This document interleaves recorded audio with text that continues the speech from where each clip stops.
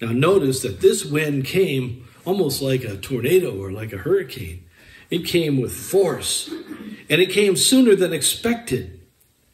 It probably startled even those who were waiting. They didn't know what was going to happen. They were waiting for the Holy Spirit to come, but they didn't expect a wind. Especially, how do you have a wind in a building?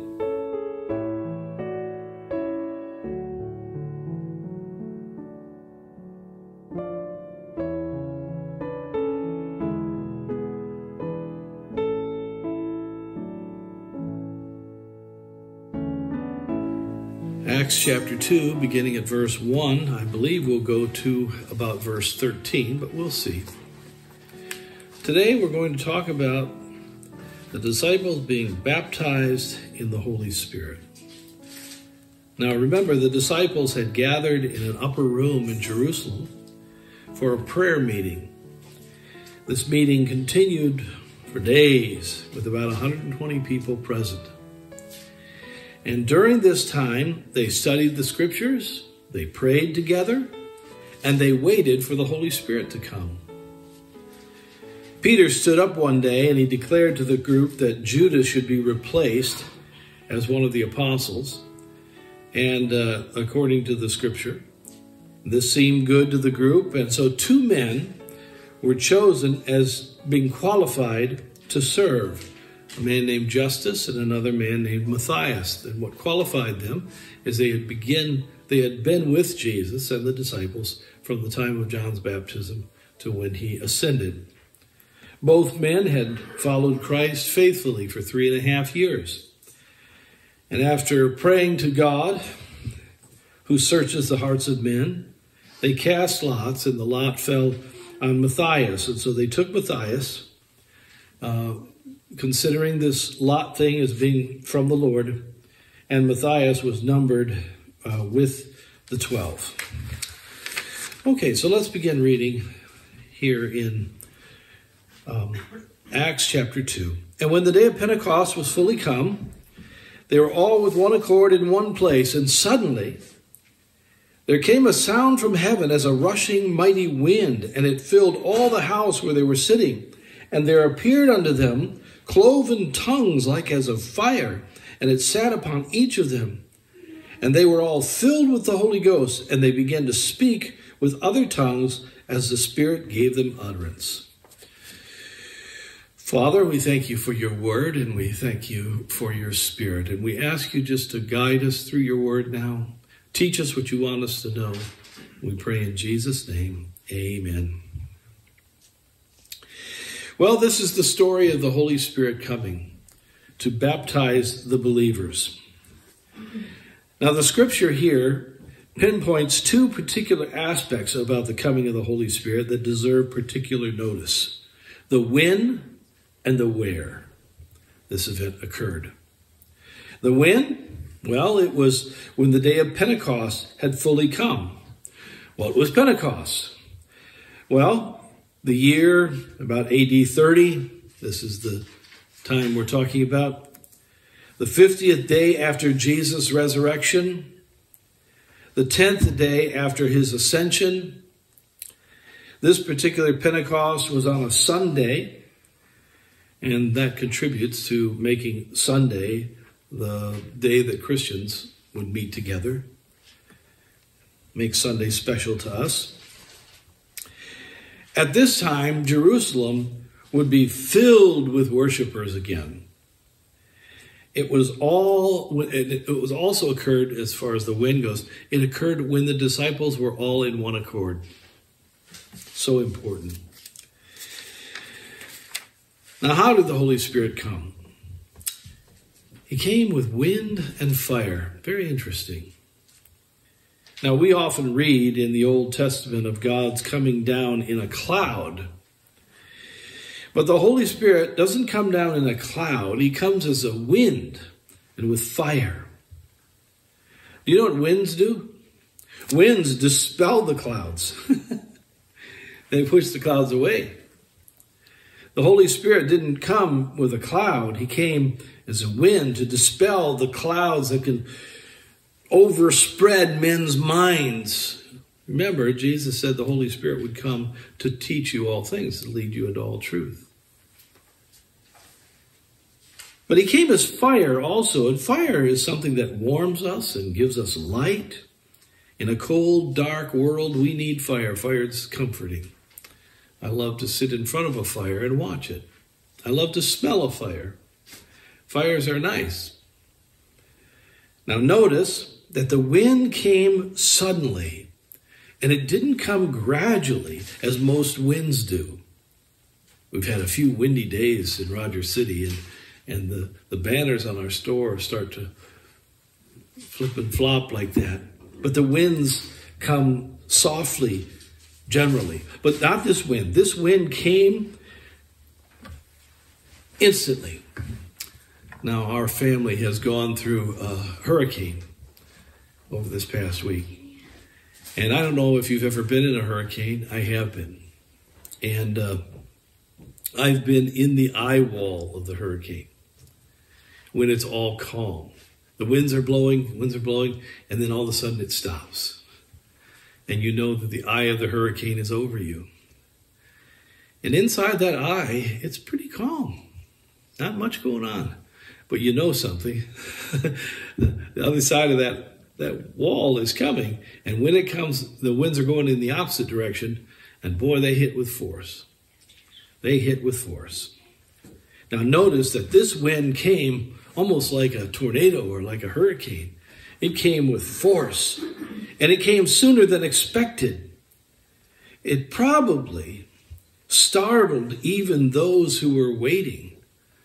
They didn't know what was going to happen. They were waiting for the Holy Spirit to come, but they didn't expect a wind. Especially, how do you have a wind in a building? There you go.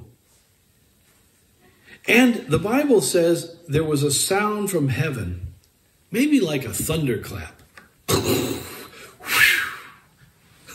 this was very uh, odd occurrence. It was a strong and violent sound and wind that came into this prayer meeting with great power. If you can understand when I say it probably would have freaked him out, it probably would have. Who left the window open? Where'd that wind come from? It filled not just the upper room, but it also filled the whole house. And I imagine it probably alarmed the whole city. Now, what about the fire? Well, it came and it sat. It sat on the disciples. Now, every time I've seen a picture that some artist tries to paint of this event, it looks like there's a, like a little big lighter on top of everybody's head, you know, a little, little flame going there. Uh, I don't know what it looked like. The description we have is tongues of fire. So it was probably like an open flame. And I want you to notice here that each disciple received the same Spirit individually. It sat on each individual's head. You know, that tells me that the Lord wants to fill each of us with His Holy Spirit and that each of us matter, not just collectively, but individually. Now, John the Baptist prophesied this sign when speaking of Jesus. You remember, John had said of Jesus, He shall baptize you with the Holy Ghost and with fire. Now, if it's significant enough for John the Baptist to point out, then I think we are, do ourselves a good service here to consider this fire and to think about it. You see, the Holy Spirit, like a fire, comes to do certain things. You know what a fire can do? If I put a marshmallow in there on a stick in the fire, you know it's going to, it's going to melt it. The Holy Spirit is like a fire. And you know what it can do? The Holy Spirit can melt hard hearts. Hard hearts. We were talking about hard hearts in Sunday school. And Peggy, you mentioned that the Holy Spirit is the one that works on people's hard hearts. And he can do that. Now remember, they're waiting for the Holy Spirit because they're going to go into all the world and preach the gospel. They need his power. We need the power of the Holy Spirit to melt the hard hearts of, of men. You know what else fire is good for? Burning up dross. My old grandfather, we called him Gran, he got in trouble one day. He was from Tennessee, and uh, he was a farmer out in Tennessee, and he moved to Detroit to work for the auto industry. And in his yard, he had a he had a yard. He was going to plant a plant a garden, and you know what he did? He did what they would do in Tennessee. He went out and he set that whole field on fire, because that's what they do to prepare the soil. They set it on fire. Well, in my grandfather's case, the fire department showed up and put it out, told him he couldn't do that anymore. But you see, the fire comes and burns things up, purifies things, it burns up the dross. And that's like the Holy Spirit. He comes and burns up the things that aren't necessary in our life and that are harmful. But I think the most wonderful thing about a fire is the warmth and the comfort that it gives us. Because of its warmth, we can cook our food, and because of its warmth, we can see at night. And the Holy Spirit is like that. He warms us, and He loves us. And this is the type of fire that Christ sends on the earth. Now, with these signs, the disciples are filled with the Holy Spirit of God, and they begin to speak God's praises in other tongues, it says. They were more filled with the Holy Spirit than they ever had been before. Please note that. They spoke not one language each, but many languages. We may suppose that as they spoke, they didn't understand what they were saying. But they were speaking in different languages. Not because they had learned them, but because the Holy Spirit was enabling them. Lubit tibia, lubit minya, zroslik imalikik lubit isus, lubit da yevne an igarada, Fuchesne Stranye Belarus. Belarus. You say, what did you just say? I just sang a song for you in Russian. Can I speak Russian? No. I can't speak Russian. Well, a little bit. I just did. A little bit. But I don't even, I probably said it really badly. You see, this was not a, a, supernatural enabling for them to learn how to speak Russian or to speak Chinese or to speak something like that. This was a supernatural thing that happened and came upon them. And they spoke fluently as the Spirit moved on them. And how do we know they spoke fluently? Because the people that were standing around were from all parts of the world and they said, What's going on here? They're speaking in our language, the language we come from. How did this happen? They're fishermen from Galilee. This is, this is a miracle. It was. It was a miracle. The Holy Spirit moved on them and they spoke fluently as the Spirit enabled them. He gave them the words that they began to speak out.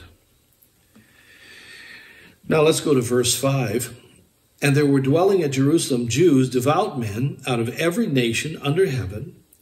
Now, when this was noised abroad, the multitude came together and were confounded because that every man heard them speak in his own language.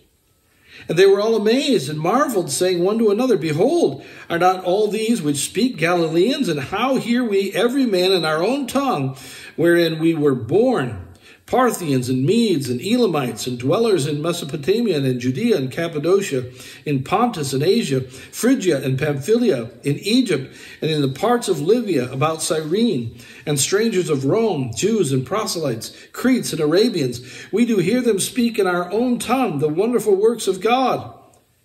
And they were all amazed, and they were in doubt, saying one to another, What meaneth this? Others, mocking, said, These men are full of new wine. These guys are drunk.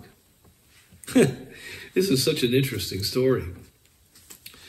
I contend to you that they spoke probably those languages even without an accent. Um, because it was such a shocking thing to those who heard it. Yes, the disciples were given an extraordinary gift by God.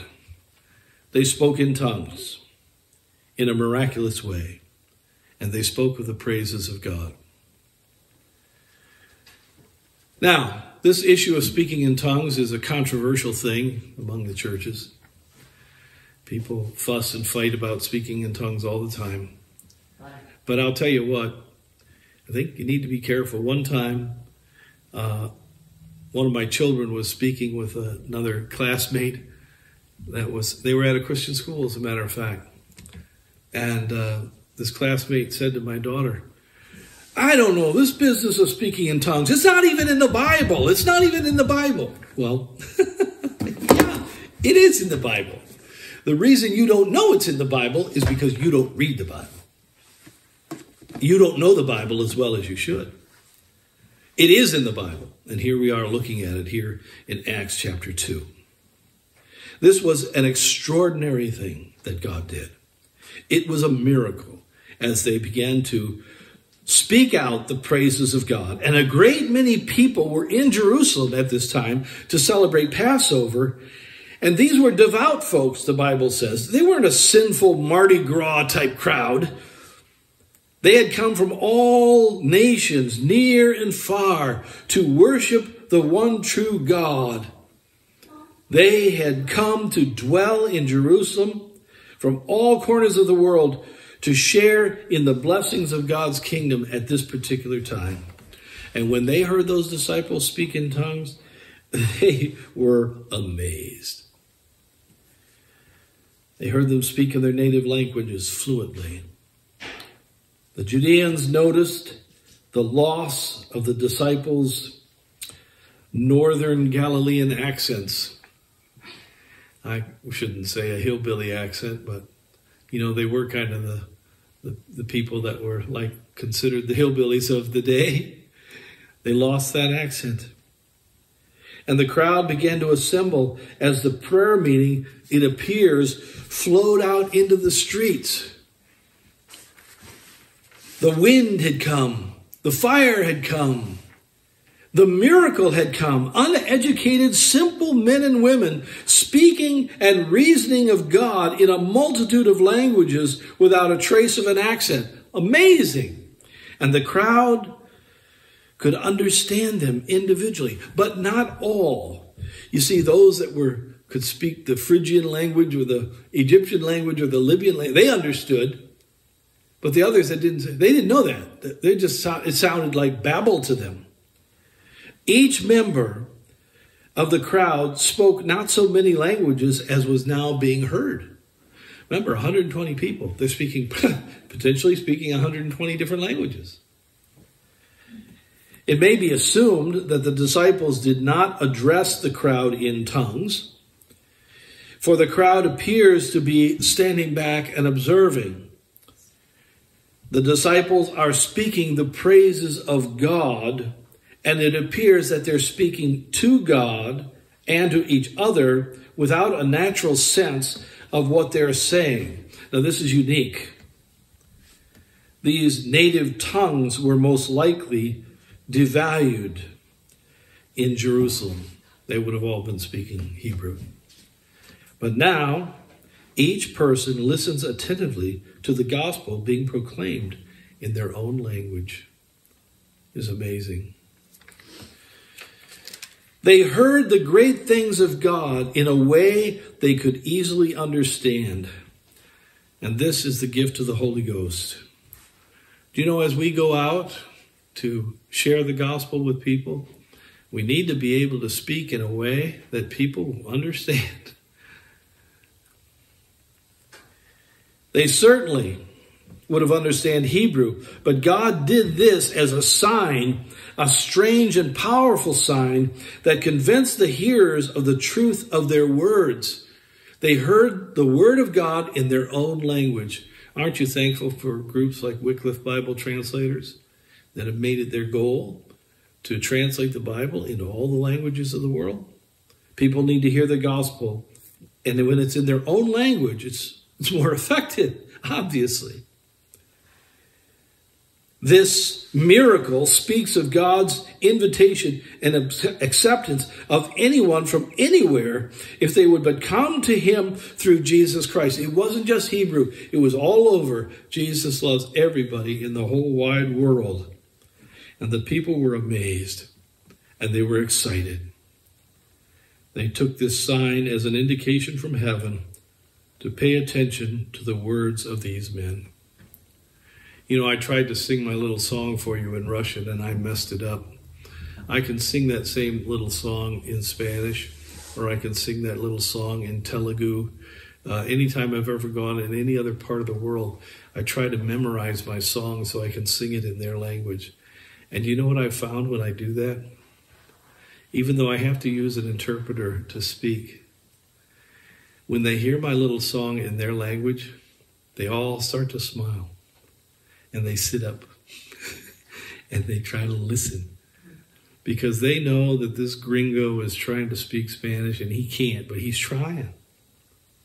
And they want to hear it in their language. This is important.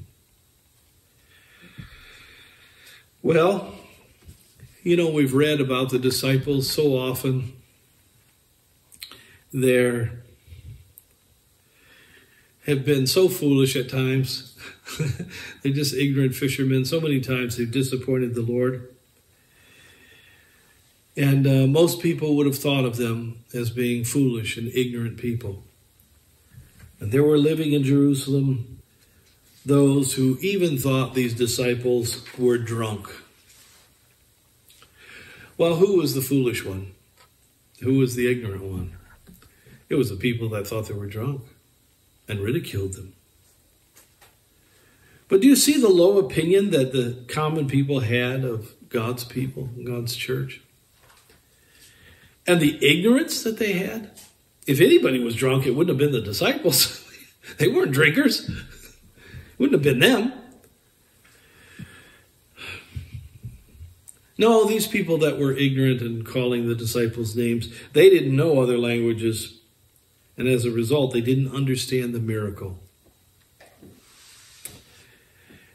Let me point this out to you. I think sometimes it's because of ignorance and a predisposition against Christians that some people fail to understand the miracle of the gospel message. They fail to understand God's love, that while we're yet sinners, Christ died for us. They fail to see it. It's ignorance on their part.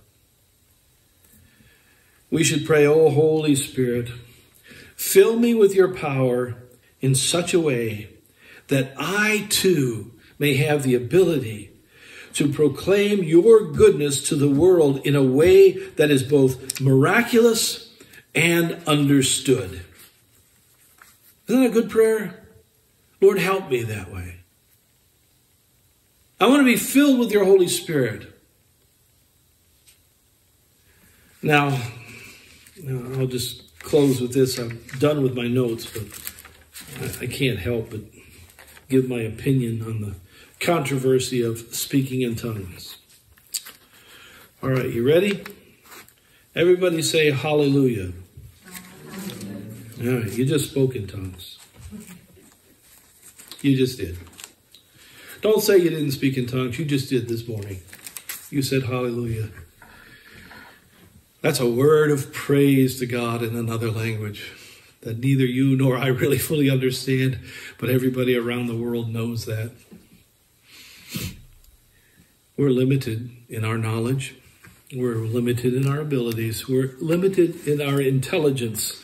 Sorry, but we are. We're limited. But the Holy Spirit is not. God speaks every language in the world. He understands every word that's spoken. And God is not too busy to listen to our prayers. He can hear us when we're calling out to Him. God is not too busy. God is not too busy. God is not too busy to listen to our prayers. He can hear us calling. He can hear us calling.